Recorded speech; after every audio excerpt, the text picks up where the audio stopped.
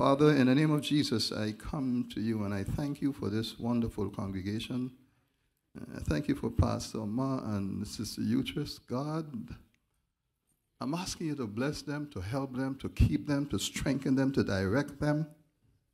And I pray that those of us, Lord, who, who, who work with them and under them, that you will help us, Lord God, to follow the Holy Spirit and to really be the support that we need to be. And I pray for the church uh, that your anointing will come upon us, Lord, and you will bless us. You will heal us. You will deliver us. We need your help. But we thank you for your favor which we have. So now I commit myself into your hands. I rest this message in your hands, and I ask for your guidance and your anointing. And help your people, Lord, to receive. In Jesus' name, amen. I want you to really remember the ministers here. You know, one thing I learned from Pastor Mickey's um, um, Bible study when we used to study is Paul, a great man like Paul, requested prayer. He asked for prayer. He said, Pray that, you know, God will give me um, utterance. And if Paul need prayer, how much more we, the ministers? Okay, please remember that. But remember Pastor Ma and Sister Utrus. Because, I mean, it's everything the weight of the church and the weight of life. I just thought of it this morning. In your regular prayer, please remember them and remember us. Remember me that utterance will be given. Um, praise the Lord. Okay, where do I start? Hmm. I don't want to come to here. Oh, praise the Lord. Yes. Okay. Um, I would like you to turn to, if you can, to your to the Bible, to um, Acts chapter 16. Before I give you the topic, I'm going to read the, read the lesson. Acts chapter 16, and we will be reading uh, verses 23 to 24, and then 35 to 39. Um, and do we have it up on the board? Yes. Now, this is about Paul the Apostle being beaten, beaten in Rome by the magistrates and thrown into prison. The Bible says here, and when they had laid many stripes upon them, that is Paul, and I think it was Paul and uh, Silas, they cast them into prison, charging the jailer to keep them safely, who having grieved, who having received such a charge, he thrust them into the inner prison and made their feet fast in the stocks. Men of God, you're doing that too.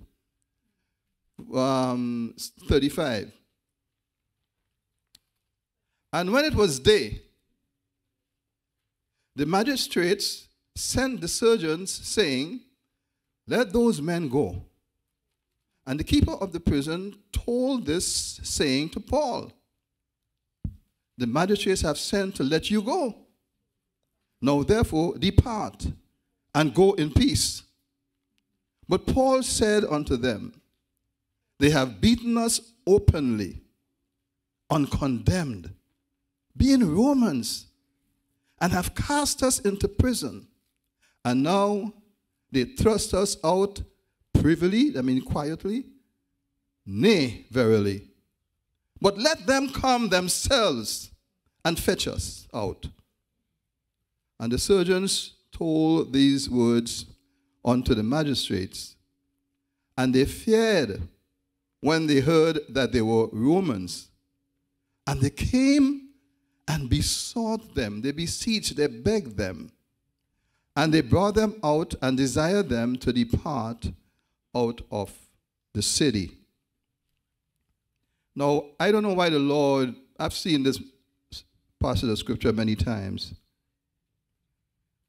But while I was reading it, the Lord just spoke to me about it. And um, Sister Marv and Sister Janet, for some reason, I thought of you when I read this, and I'll tell you why I thought of you all for some reason. The message here, the title of the message or the topic is Stand Your Ground. They are breaking the law. Stand your ground. They are breaking the law. They arrested Paul and his companion as Romans. They had no right to do that. You cannot, you couldn't throw a Roman citizen in jail and beat him without a fair trial. They did wrong. The magistrates, the governors, the leaders of the city, they did wrong. And so they sent to get Paul and his companion out of prison quietly. And Paul said, No. They broke the law. We're not going. Let them come and take us out if they want us out of here. And when I read this thing, I say to myself, all the maladies, all the depressions, all the sicknesses, all the conditions, all the poverties and the lack that assail us as children of God. They are breaking the law of God. They have no right. And we need to stand our ground against them because they have no right. We are going to waste time no more with the question of our position in God. Sometimes we hurt ourselves too much in thinking about unrighteousness and unholiness when indeed we are righteous and holy. We are. You got to know this. And know where you stand, how you stand, and who you stand for, who you stand with, and who stands with you. And they are breaking the law, not you. And we are claiming what the Bible says about us. You go to 1 Corinthians 6 11.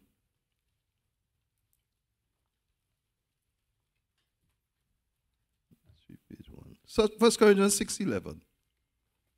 And let us, you know, let, let us fix this thing. To be honest with you, I'm kind of tired with the sicknesses, even myself. I'm under a lot of attack. I'm tired with the sicknesses Many Christians, you know, friends of ours in, in, in New York, many Christians are coming down with Alzheimer's and stuff like that.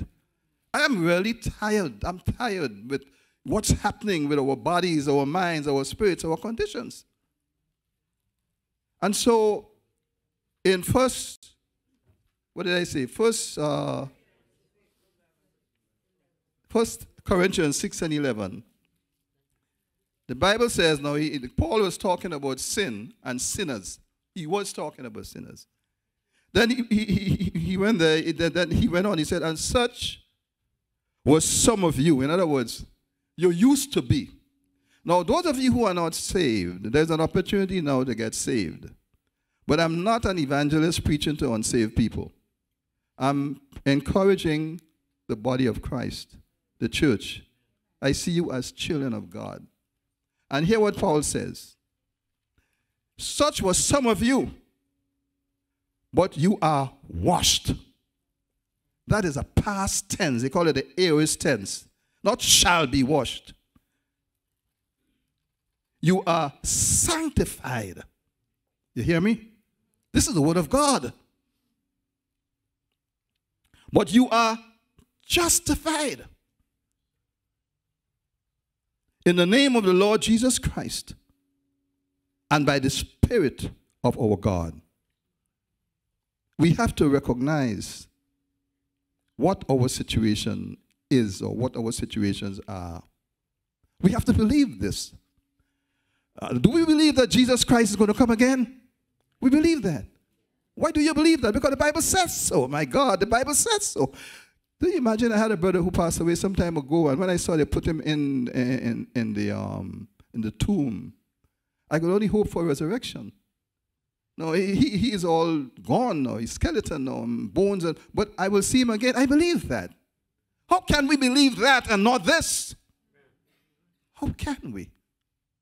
That you are justified, sanctified, washed, cleansed. You are, not because you make a mistake here or there. Ask God to forgive you and move on and rebuke the devil in Jesus' name. Sometime I give Satan three words, three biblical words.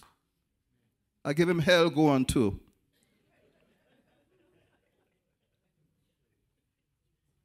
You know, the, the Roman law could not have been broken. Rome didn't play around. Huh? But the devil is broke, breaking the laws of God in our lives. And we, we, we just, you know, when, when he comes to get us, we just, you know, we, we were scared. And we're receiving it. Now, I'm not saying that things wouldn't happen to us. Things do happen. It happened to Jesus. We talked about him in that ship. A storm came, or like the Son of God, a storm came and wanted to sink the boat. But he didn't go down, he didn't put on his life jacket. He rebuked the storm. And, things will come against us. And we have to be like David. I love David. You know, I, I, I don't know if I could be a martyr. You know, in the old days, they used to catch them and throw them to the wild beasts and, you know, killing. No, if God wants me to die, I will die. I'm willing to die for Christ, yeah? But if he's not ready for me yet, don't try it with me. In the name of Jesus Christ, I wouldn't be a martyr, I'll be a David.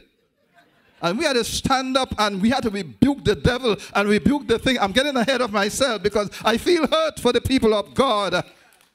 I feel hurt sometimes. We can do it, saints. If I tell you the things that I have dealt with in my life and I've overcome them, and I'm still dealing with stuff, and I shall overcome them. I can't talk too long, but um, hmm. Hmm. so the Roman law could not have been broken. Oh, but the laws of God, the laws of the stripes that cannot be broken. Didn't the Bible say by his stripes we were made whole? Now that we have to be very careful with that.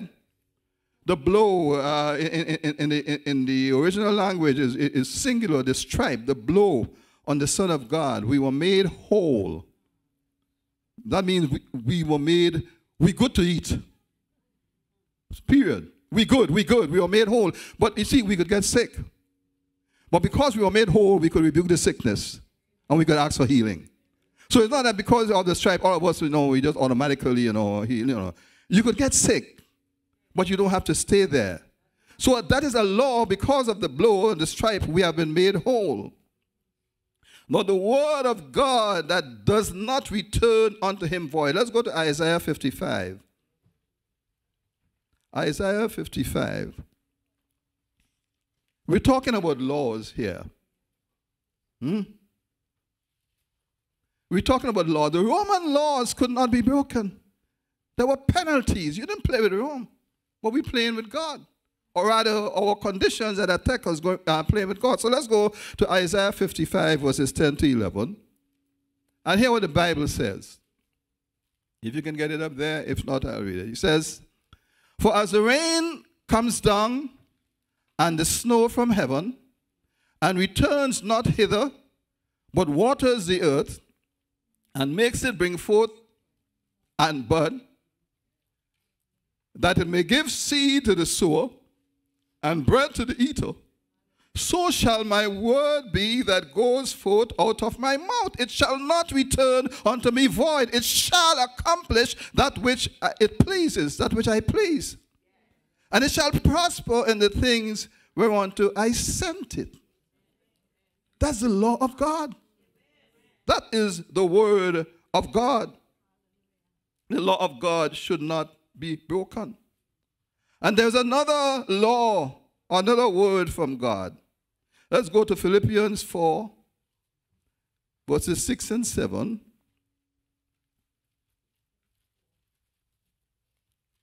Philippians 4, I, I, don't know if I gave it to you, but uh, Philippians 4, 6 is, yeah, yeah. It says here, be careful for nothing, but in everything by prayer and supplication with thanksgiving, let your requests be made known unto God, and the peace of God, which passes all understanding, shall keep or garrison or guard your hearts and your minds through Christ Jesus.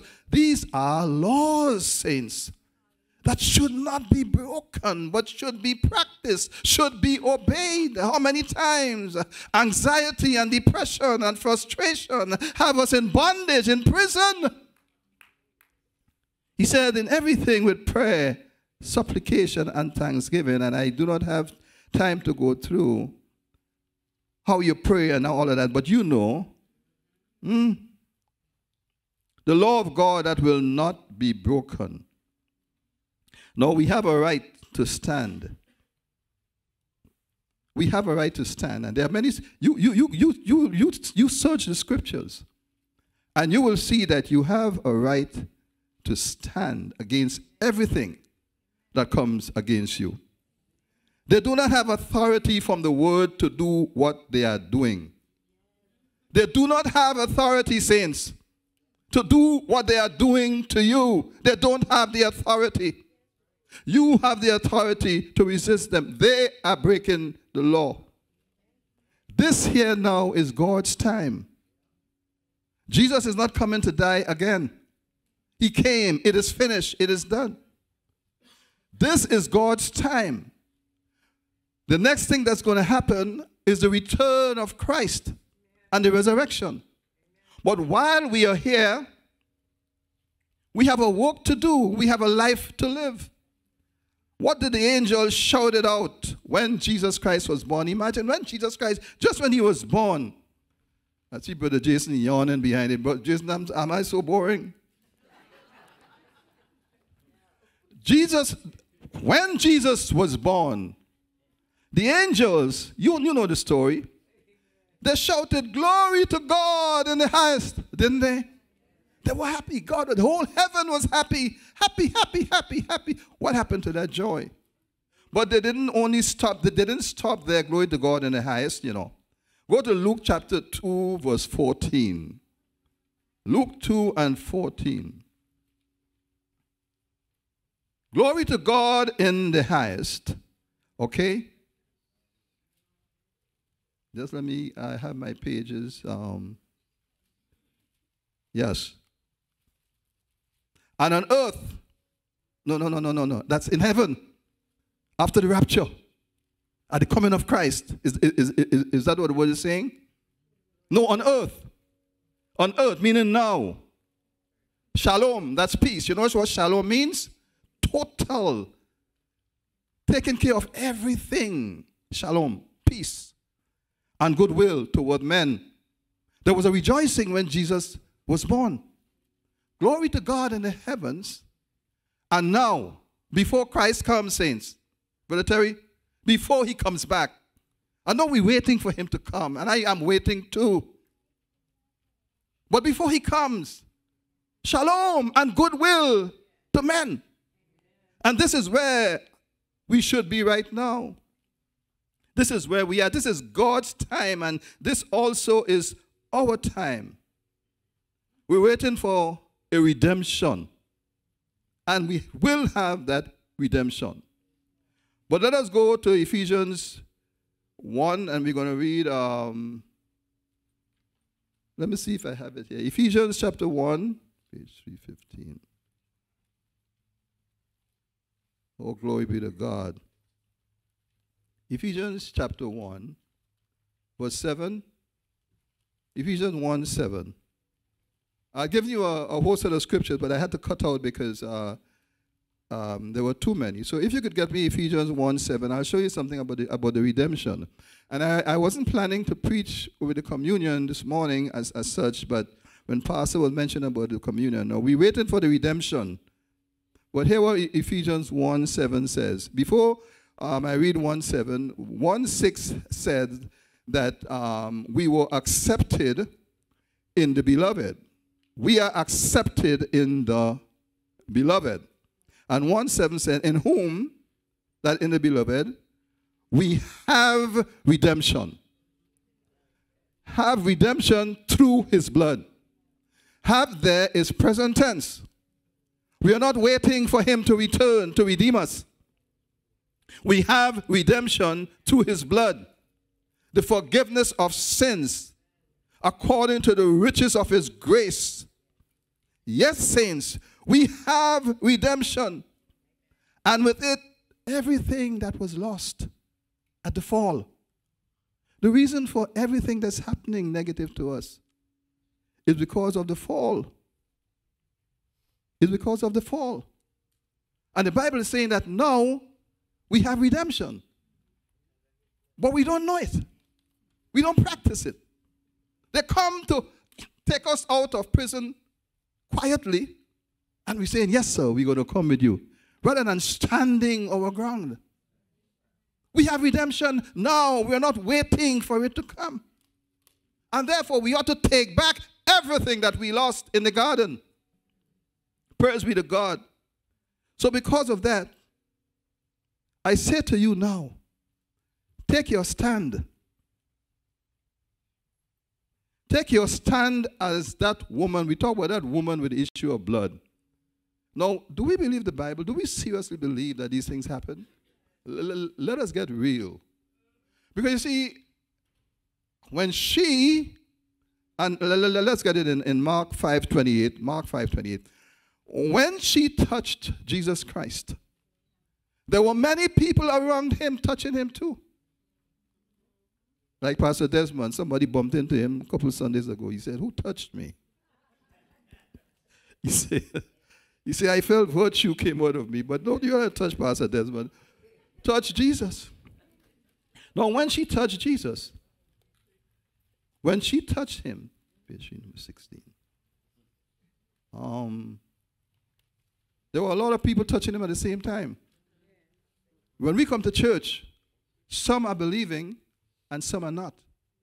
Are you going to be the toucher this morning? Are you going to be the one that's touched? Or are you going to be like all the, the crowd that, you know, just followed him and got nothing from him? So hear what it says here. Mark 5.28. No, I like her. I like that woman. Is a pity she's not alive now. He says, for she said, yeah. Get my wife looking at me.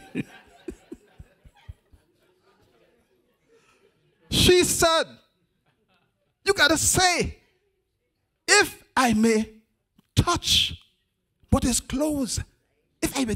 Poor thing, you know, I feel sorry for her too because she was not supposed to be around. You know the story about people in that condition. She was, you know, she was cast aside. She was not supposed to be in the crowd, and, and she was if in, If I could just touch no, again, I, I like my grammar because I, I, you know I went to grammar school and I, I learned a lot of grammar with, Latin. So please, if you hear me talking grammar, I'm not showing off, often, but it's very important. That if there is a what you call a subjunctive mood. In other words, you could do it, or you can't, or, or, or you don't have to do it. It's really up to you. The subjunctive mood. If, if, if I can touch what is close. Now she had an option. The decision was hers, you see. But here, the second part of the if I shall be whole. Now that is what you call the indicative, meaning it's going to happen.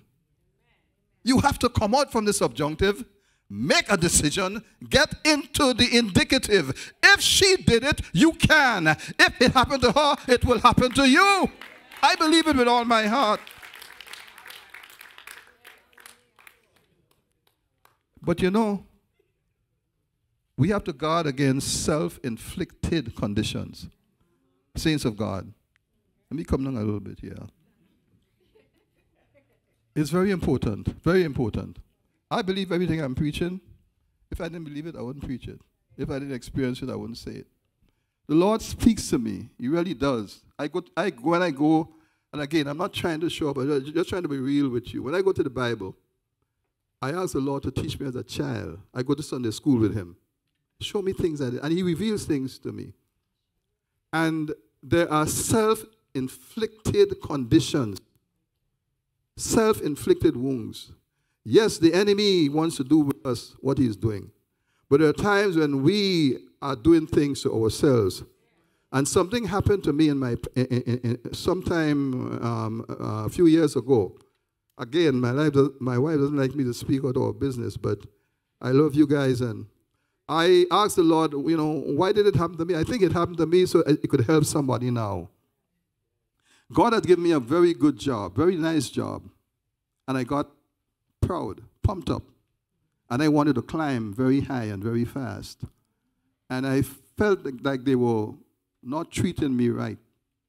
And so I got angry and I got nasty. And with the angry and the nasty, I was boasting about my God, how he could deliver me, and you know, who are these people, you know, and on and on and on, and it became worse. My attitude created a problem, and then I started feeling pains behind my neck, my head, my I was in pain constantly because we were back and forth on the job. And then they decided now to do something to get me out. And I knew they couldn't fire me like that, so I was being bigger than them, you know. But there's a way that they can get you out. And I think I told you that story here before. What they, what, what they would do, they would change the job, the description. They would make it higher. A higher job paying more, and it will require a, a certification that you don't have. And then they will tell you you have to apply for it. So your old job, they didn't fire you, but your old job is canceled. You have to apply for this job. That's how they got you out. And God knows I was in trouble. I look at my poor wife and my children and I, I, the sadness, and I couldn't help myself. I was angry and I was hurting and I was giving them back and forth. And one day, I, and I, so I took, a, I took a week off. And I, one day I left my house in Queens and I traveled to Brooklyn. And my intention was to go to Brookdale Hospital because I couldn't take the headache and thing anymore. And I stopped by my sister and then ended up in my church um, in, in Brooklyn. And there was an old deacon who used to have a Friday morning service. And they started to have this service, and one of the deacons were leading the worship. And I wanted to get up and hit him. I just get out of there. I can't, my head hurting me, you know, and he singing song that I don't like. And but when, when, when, when, the, when, when, when, when, when the elder came, when the elder came, no, when you're depressed, you're angry. If you know depression, you're angry with everybody. And I was really hurting. And they were planning, they were getting me. They were getting me. Oh God, they were getting me. And the elder came on the scene and he used two scriptures. Let's see if I could put them in the right order. First one he says, make it short. Take out the beam from your eye before you take out the mote from somebody else's eyes. And when he said that, I said, he ain't talking to me.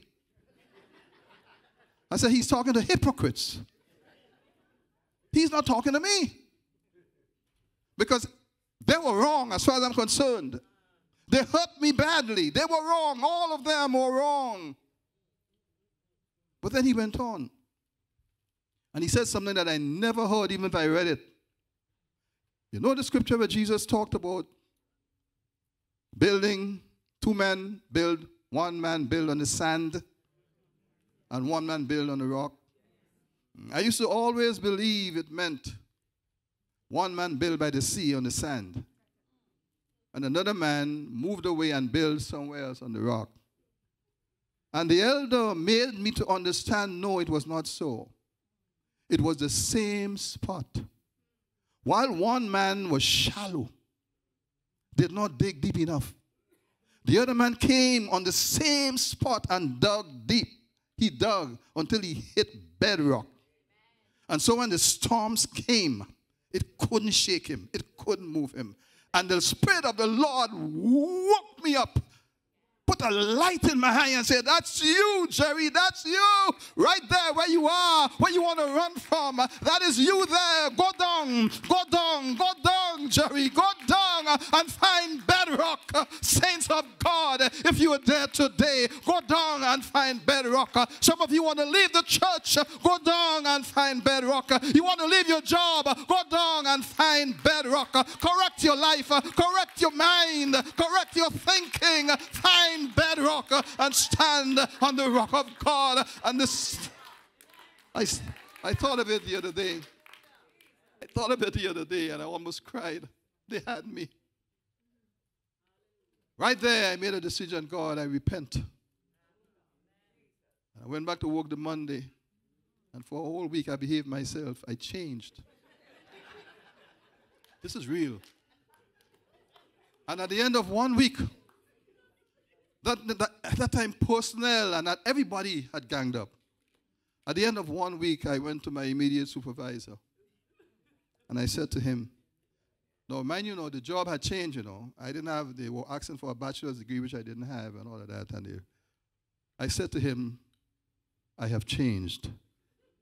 I said to him, I, you know, I said, I said, you know, the guy tell me, he said, you know, we noticed that. He said, we noticed that.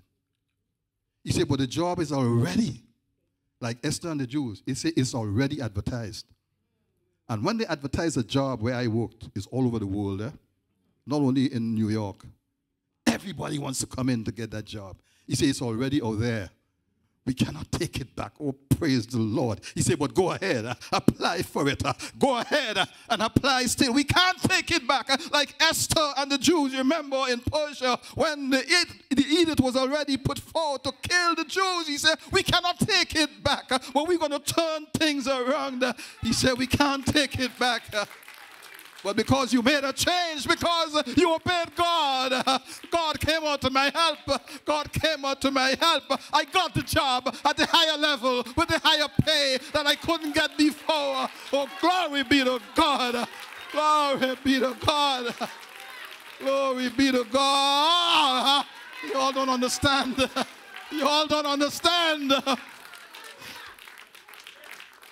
And I asked God, I asked God yesterday, I said, God, why did you do that for me? It was a corner. And God said, somebody needs this story. Somebody needs it. I'm going to stop now. God knows your heart. God knows your situation. I want you to take your stand. I want you to take your stand in the name of the Lord Jesus Christ. I want you to make corrective, take corrective measures in your life. Search yourself. Do like me. Now, there's a scripture in Mark 11 24, 25, you know it. He said, Whatsoever you desire when you pray, believe that you have it. He said so, huh? And then he said, When you're praying, forgive. Forgive. Forgive, he says. And some of, us some of us have a lot to forgive for. Things happen to us. I'm almost done. When we were children, let it go. School teach, teachers used to beat, beat, beat you like crazy for nothing. And some of you still have it in your mind. Let it go. Parents did you all kind of thing. Let it go. You know, when I go before God, I say, God, I forgive everybody. I forgive, I forgive, I forgive the slave owners, the slave masters. I forgive the wicked people. No, seriously, forgive. And I'm telling you something, black people have a wonderful opportunity to practice forgiveness. We just have to be, come on, you know, especially the black man. And, and it's not only in race, you know, even among us black people. When you're dark skinned like me, you go through a lot. You got to forgive people. I remember my one more story. My, my, my wife's sister is very dark like me. She married a light skinned guy, and her children are light skinned. Her other sister is light skinned, and his, their, her children are light skinned. So this light skinned guy, he died, and we had the funeral. And we were standing at the back of the church, and everybody is light skinned, except my wife and I, but they know my wife, they know me. And this other guy, a friend of, of theirs, he came in and he's greeting everybody family, family, family. And when he came to me, he stopped. Like, guess who is coming to dinner? you know? Even that, no, no, no. What I'm saying is this that there is prejudice and everywhere, everywhere, everywhere. So it's not, it's not, not only about race, it, that's just who human beings are. But the Bible says, forgive. If you know how to forgive, man, you, if you know how to forgive, there's a peace, there's a joy. If you know how to forgive, there is victory in forgiving. And when you are like me, a police stopped me one night and he kept me up for a long time. And I asked him, why you stopping for? He told me, clean my license plate. I got to forgive. We have to forgive. And some of us have wonderful opportunities. See these things as opportunities to forgive, not to hate, but to forgive. So, saints of God, today, stand your ground in the name of Jesus. Rebuke for yourself. I can't, I don't have to lay hands on you. Sister Marvel, Sister Janet, I thought of you guys. They have no right. There's a law against what's happening to you. They have no right, saints. They have no right. Stand your ground. Correct yourself. Because some of us, like I say, have caused the problem in our own selves. But my God, stand on the word. And in the name of Jesus Christ, rebuke it. And if you don't know, if you don't know the name of it, I call everything infirmities. Just say it. In the name of Jesus, you sickness, whatever it is. I don't rebuke my bills. I don't rebuke my credit card. In, no, no, you're laughing, but it's true. In the name of Jesus Christ, I believe. Saints, I believe. Pastor, I'm going to finish now because Pastor Mike. Bless you. Bless you, Saints. Thanks for listening.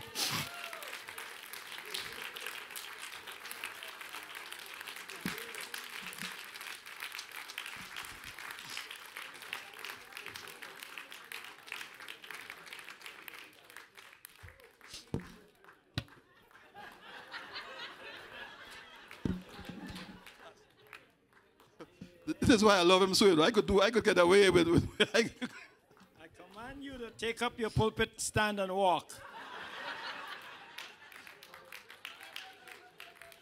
Could you praise God for the word of God today?